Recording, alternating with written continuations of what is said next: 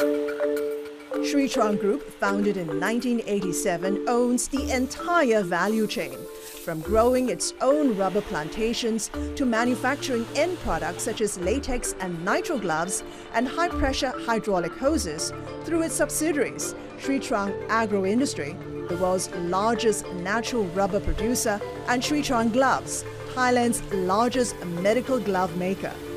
I caught up with the group's chairman and managing director, Viyavood Sincharoenkul in Singapore. Let's talk about the upstream because the pandemic has clearly wreaked havoc on the natural rubber market. Prices remain volatile. How closely are you watching the price of this commodity? At what point, at what level would it start to squeeze your margins? In the last, especially you look at the, the peak then in 2010, and rubber prices has always been coming down for the last 11 to 12 years up to now. Yeah, it was the worst when the pandemic hit the uh, uh, the industry. People were destocking, people were running away, defaulting, and not buying all this, and the whole market collapsed.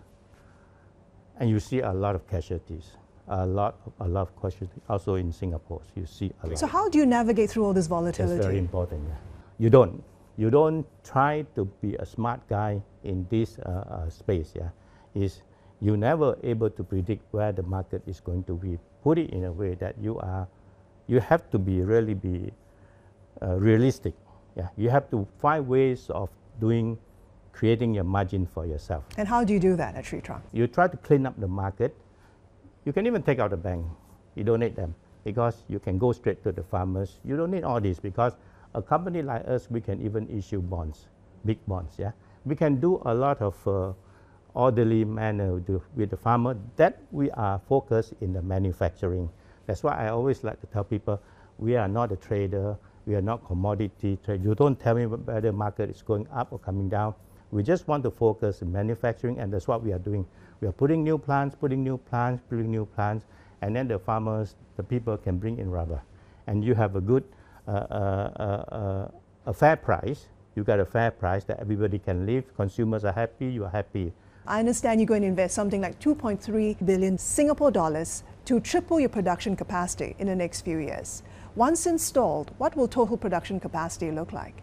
Total capacity that will look like we hope by then it will be 20% of the world supply, uh, world demand and supply.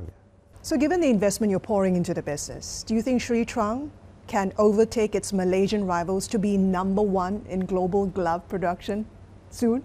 Secret I, I don't want to be number one. I, I think it's so difficult to maintain to be number one. You are number one in size, but are you the best? You know, uh, it's nice to be number three.